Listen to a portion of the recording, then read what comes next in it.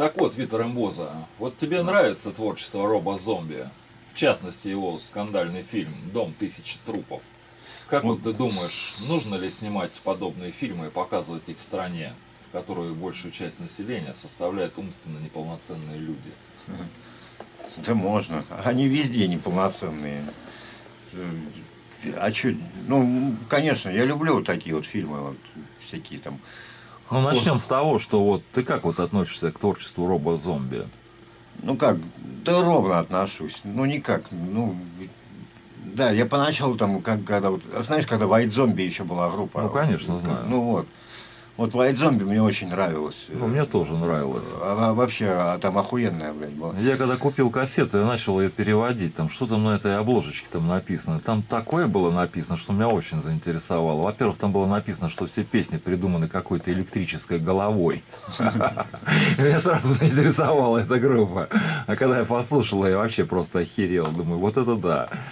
А потом уже плотно я как бы Ну да, White, занимался его White Zombie было. Ну а Роб Зомби, он уже там по-коммерчески немножко, как бы. Ну, некоторые люди считают, что это сатанизм вообще чистой воды. Ну, сатанизм чистой воды, это дейсайт какой-нибудь там вообще. Не, ну в смысле как бы в более в таком бытовом как бы виде. А, в этом плане. Ну, да. бытовом.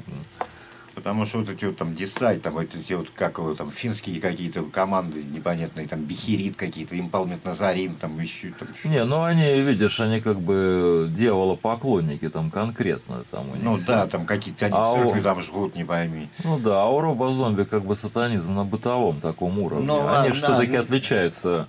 Ну нет, я да, я. Норвежский там какой-нибудь сатанизм, блин, и северный от американского. Ну, ясен пень, очень сильно отличается, кстати.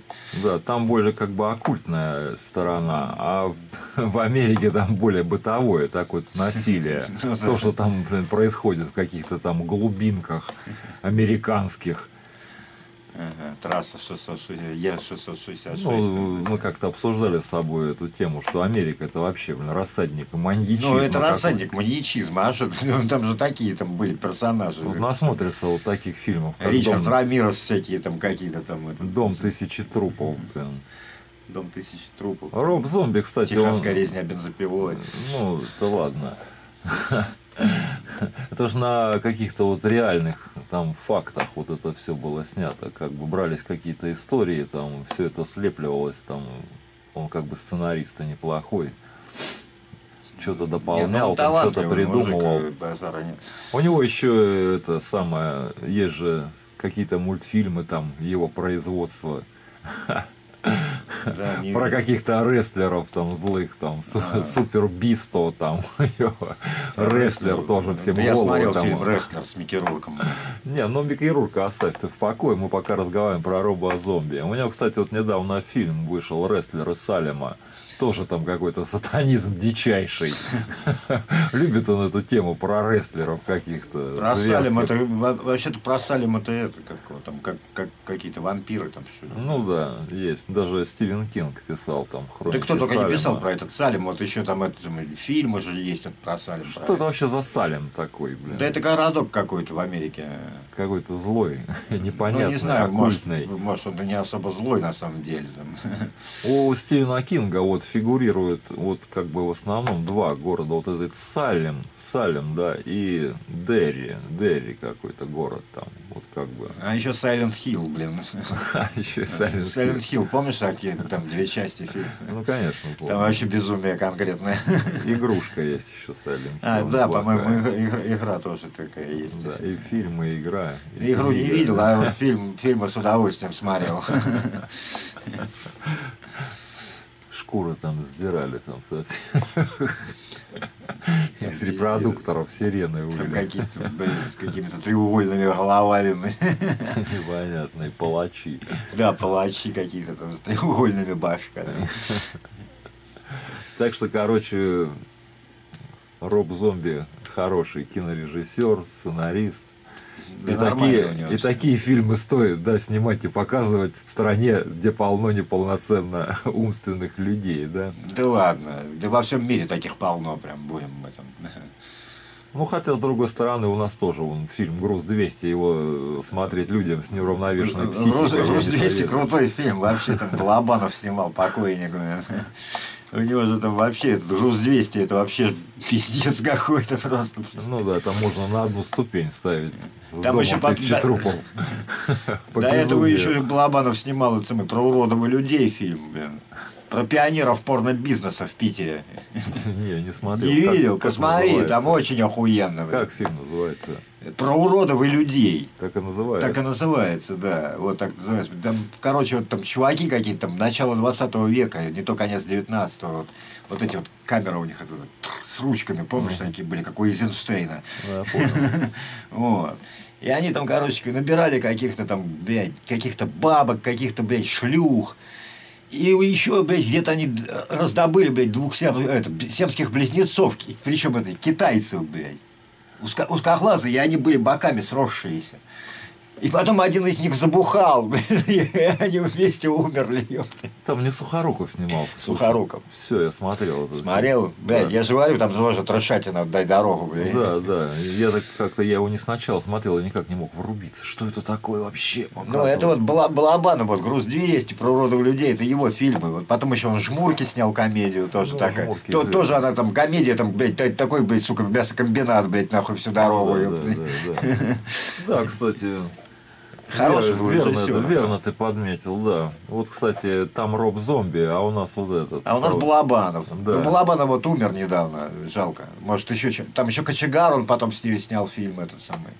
Тоже там какой-то... Я вот я, Я его знаю, не видел, знаю. но, но и анонсы почитал, там тоже... Якут там какой-то. Да, какой-то там самый, работал в крематории. Там. Ну, в кочегарке он работал. Да, в кочегарке работал. Плохих людей сжигал. Да, ему какие-то буддюки там каких-то привозили трупы, он туда блядь, Да, засовывал. привозили, говорили, это плохой человек.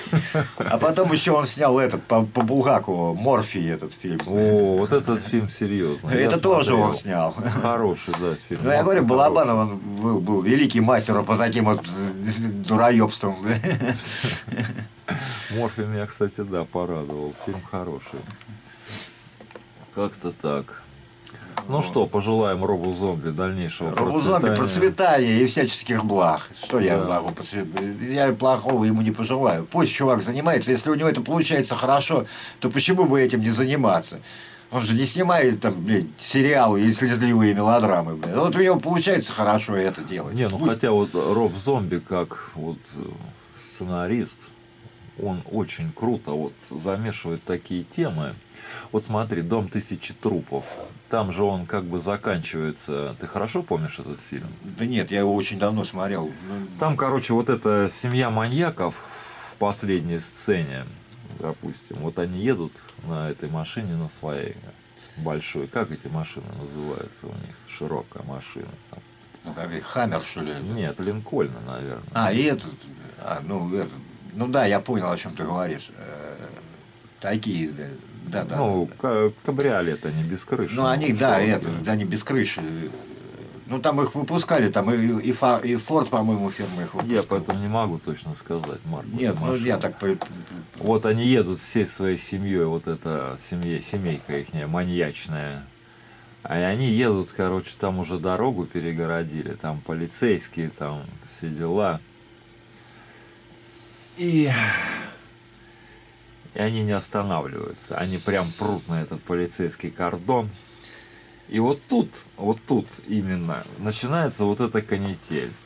Естественно, полицейские стреляют, они стреляют, там, их там изрешечивают пулями, но все это производится под такую музыку. Как Ну, будто, да. блин, Сразу- сразу- как будто можно понять, что это очень хорошие люди погибают сейчас под полицейскими пулями. Трагизм сам вот этой ситуации. То есть, блин, он вызывает не радость от того, что семьи маньяков наконец-то порешили, а жалость к этим великолепным людям, что они вот так жили светло и счастливо, а их негодяи полицейские раскрошили в труху. Вот в чем вся фишка. Очень круто. Апофеоз вот этого всего фильма.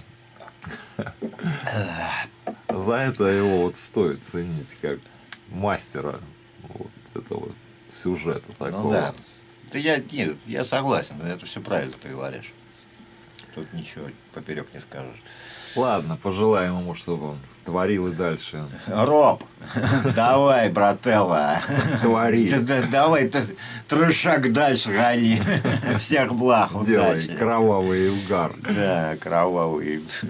Трэш. Трэш.